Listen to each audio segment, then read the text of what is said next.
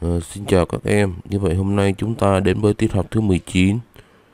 Và tiết này thì ờ, sẽ nhờ con Nguyễn Thụy Hương dạy ở trường Trung học cơ sở Lương Thế Vinh giảng bài cho chúng ta nhé.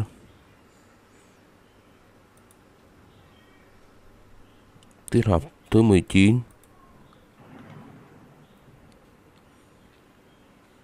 Tiết học ngày hôm nay có hai nội dung.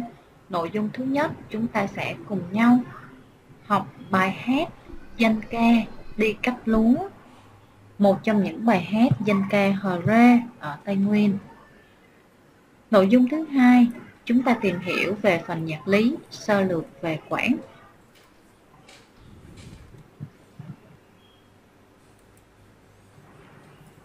Bài hát đi cắt lúa có xuất xứ từ danh ca Hờ Rê Tây Nguyên.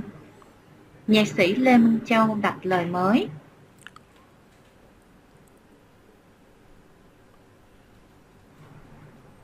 Các hình ảnh trên màn hình tượng trưng cho những nét văn hóa truyền thống sinh hoạt của người dân Hờ Rê sống ở Tây Nguyên.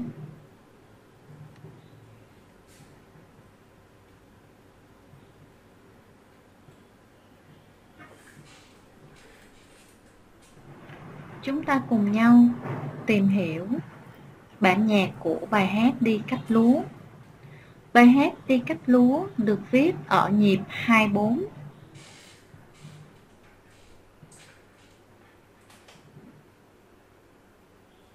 Ô nhịp đầu tiên là ô nhịp lấy đà.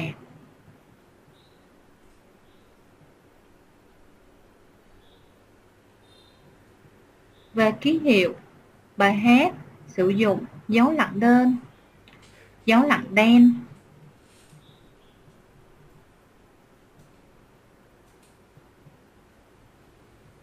Các em lưu ý ở chữ lần và chữ e. Bài hát sử dụng dấu nối.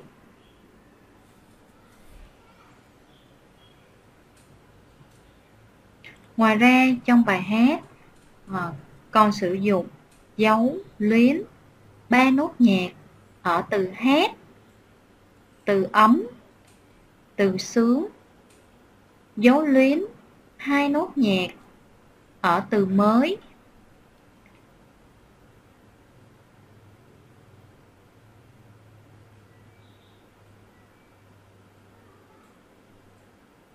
Bài hát gồm 4 câu hát. Câu hát thứ nhất, từ đàn em đến vang lừng. Câu hát thứ hai, từ đón lúa cho đến bản làng ê. Câu hát thứ ba, từng đàn em đến lúa ngát hương ê. Và câu hát thứ tư, từ đón lúa đến bản làng ê.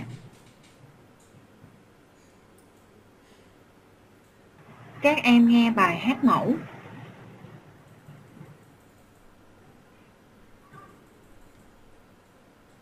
các em luyện tập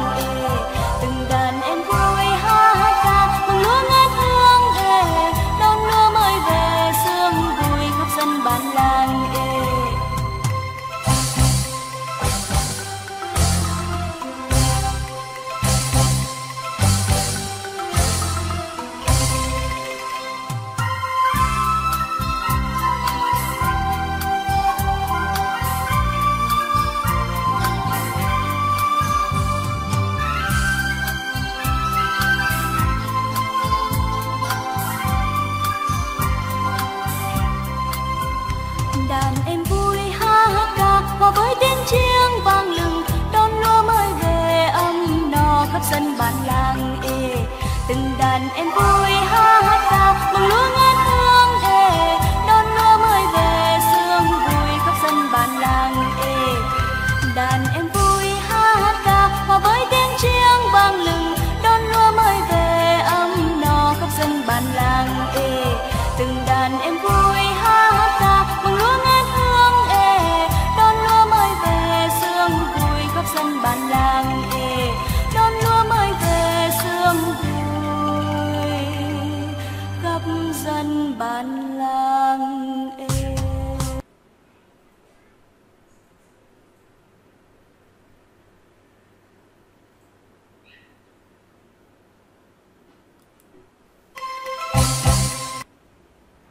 Các em luyện thăm theo mẫu.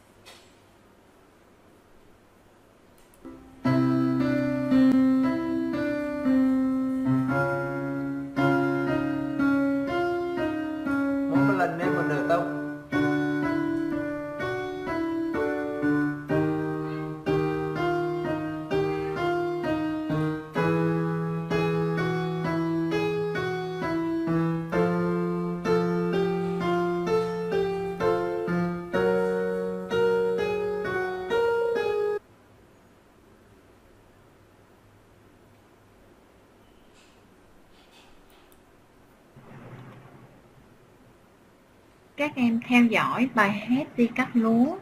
Chúng ta cùng nhau tập hát từng câu của bài hát. Mời các em nghe giai điệu của câu 1 và câu 2 từ đàn em đến bạn làng Ê.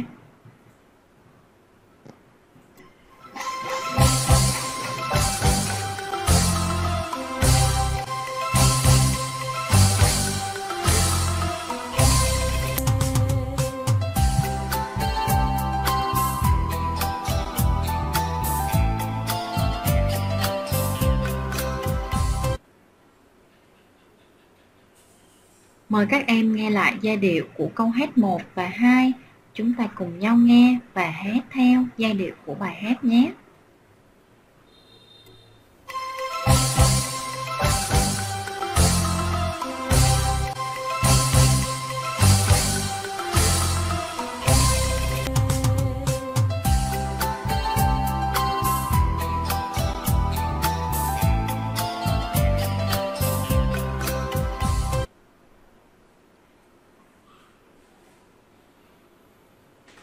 Chúng ta cùng nhau đến với giai điệu của câu hát 3 và câu hát 4 từng đàn em cho đến hết bài.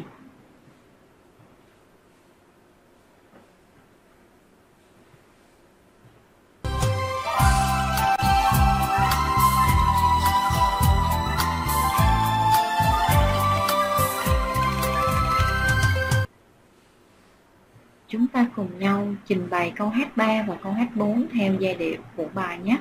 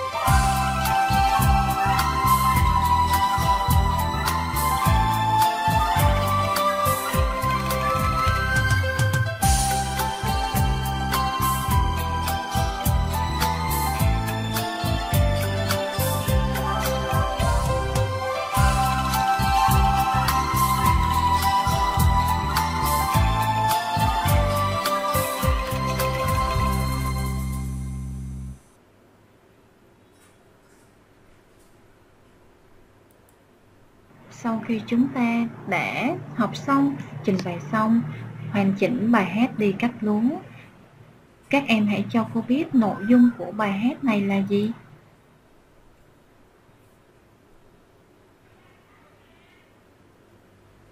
Bài hát đi cắt lúa nói lên niềm vui của các em nhỏ trong không khí ngày mùa đang về trên buôn làng Tây Nguyên.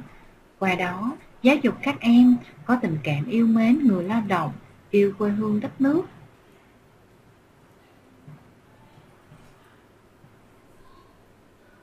Cô và các em chúng ta đến với nội dung thứ hai của tiết học, đó là phần nhạc lý sơ lược về quảng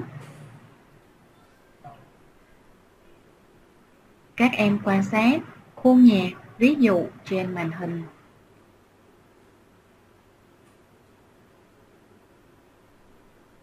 Từ ví dụ, ta có định nghĩa khoảng là khoảng cách về cao độ giữa hai âm vang lên lần lượt hoặc cùng lúc.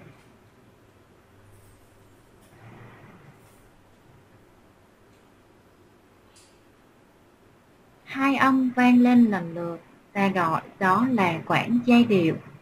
Các em quan sát ví dụ về quãng giai điệu trên màn hình góc bên phải.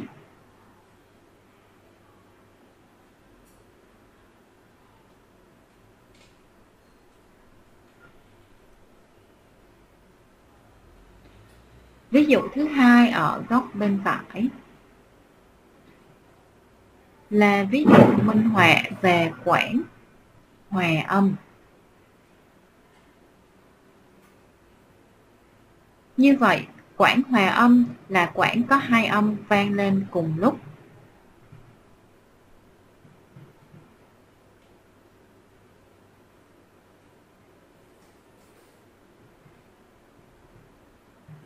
Các em hãy so sánh quãng giai điệu và quãng hòa âm giống và khác nhau ở điểm nào.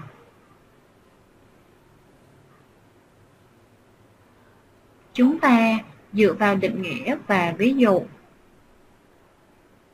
Quãng giai điệu và quãng hòa âm giống nhau là đều có hai âm.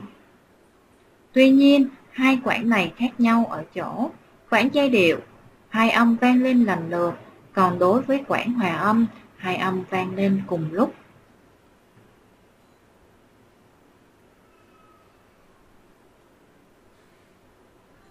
Tiếp theo, chúng ta cùng nhau gọi tên quãng.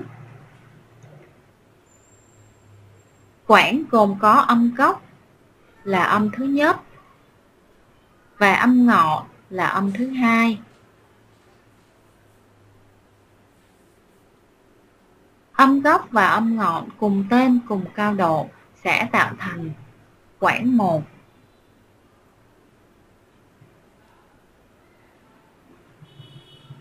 Các em quan sát ví dụ về quãng 1.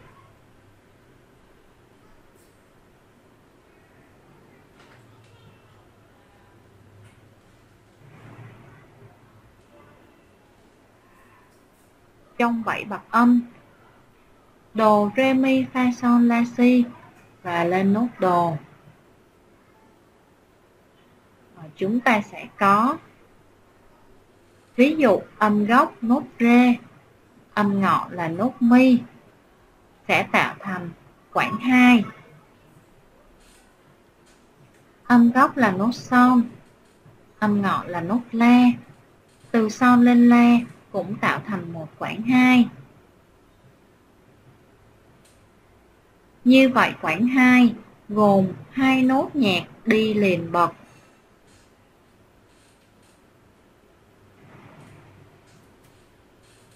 chúng ta quan sát tiếp.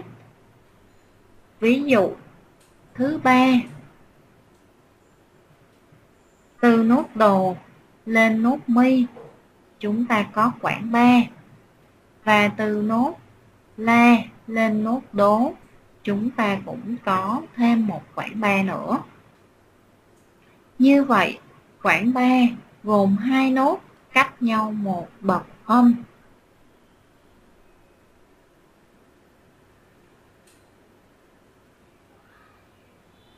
Tương tự với khoảng 4, khoảng 5, khoảng 6, khoảng 7, các em cũng đến bậc từ âm gốc đến âm ngọt. À,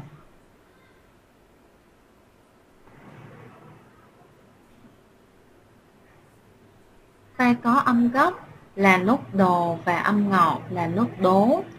Từ đồ đến đố sẽ tạo thành quãng tám tương tự, từ nốt rê đến nốt rế cũng sẽ tạo thành một quãng tám